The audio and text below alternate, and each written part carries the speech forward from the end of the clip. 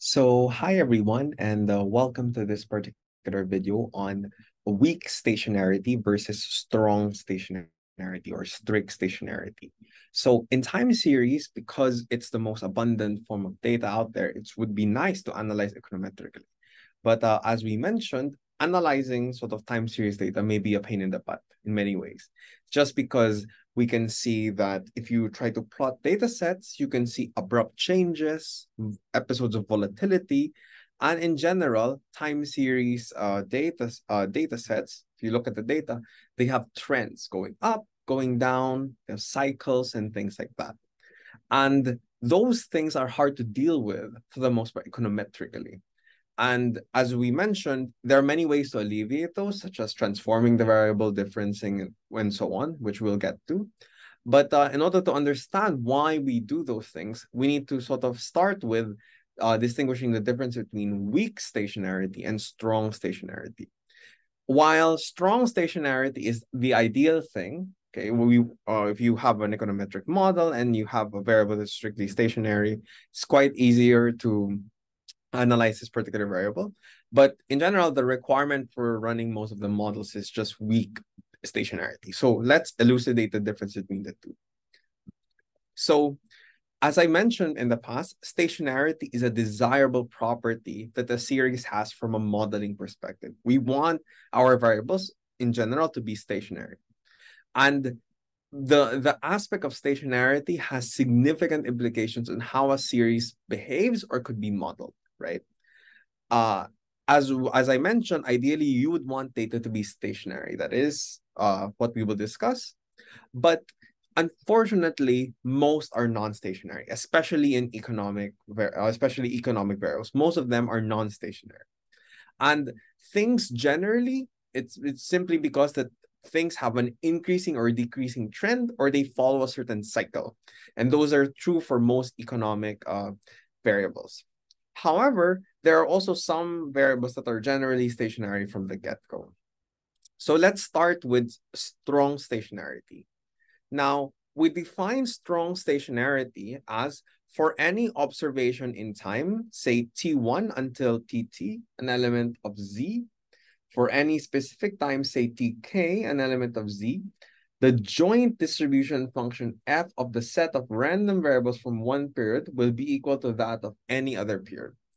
Now, this is a quite a mouthful, right? It's kind of hard to understand, but I think the easiest way to understand it is just by saying that it just means that the distribution of values remains the same as time progresses.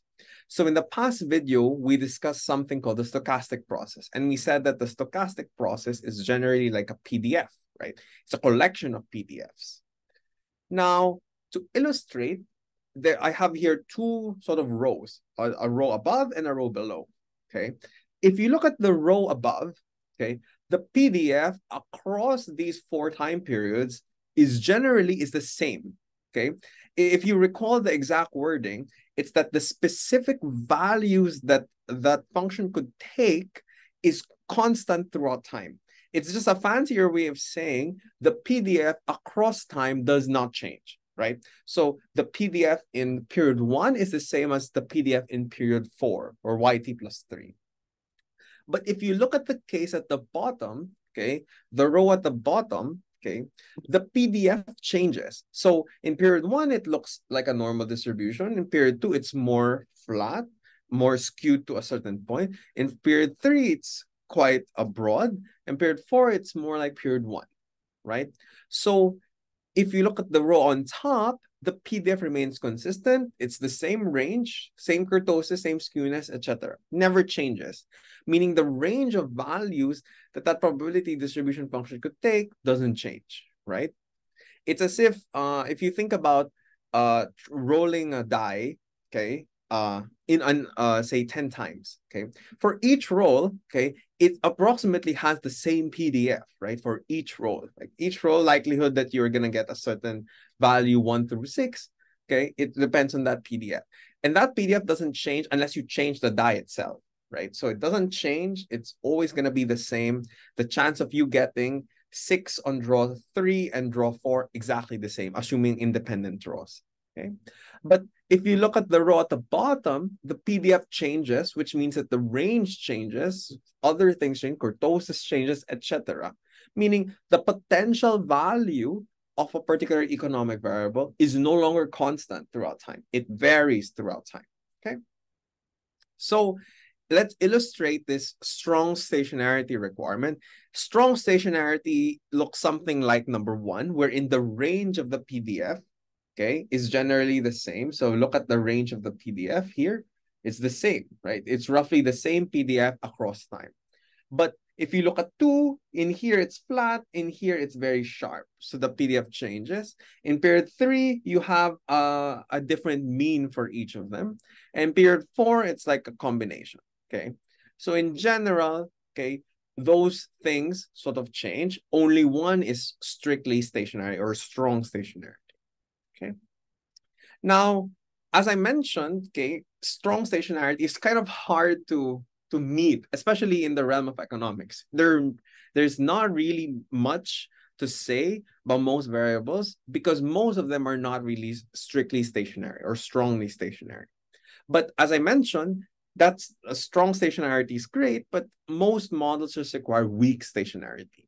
And it's a more reasonable requirement that you can achieve by variable transformations and some other techniques.